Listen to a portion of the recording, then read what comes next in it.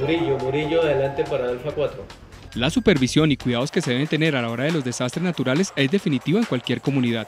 Por eso, con el paso de los años y después de una serie de investigaciones, recopilación de datos y trabajo en equipo, fue creado un sistema de alerta y monitoreo que ayuda en la prevención de los daños que se pueden presentar como consecuencia de los desbordes de los ríos de la cuenca del río Magdalena. Junto con el Ministerio de las TIC y la ADT en el Departamento del Tolima, que es la Asociación para el Desarrollo del Departamento, se ha creado un sistema de tal manera que podamos en un momento dado dar un aviso temprano a las comunidades aguas abajo de los ríos Magdalena y el río Gualí.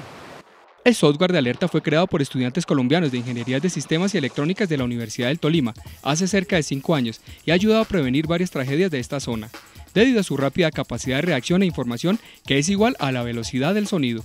Una vez el sistema nos arroja una información en la central de comunicaciones, inmediatamente nosotros tenemos que darle aviso a las poblaciones aguas abajo que ya las tenemos identificadas, de tal manera de que ellos puedan hacer una evacuación temprana. El sistema de monitoreo cuenta con varias estaciones de seguimiento en diferentes municipios de la región, como lo son Ambalema, Flandes, Natagaima, Purificación y en la región del Cañón del Conveima, corregimiento de Villa Restrepo.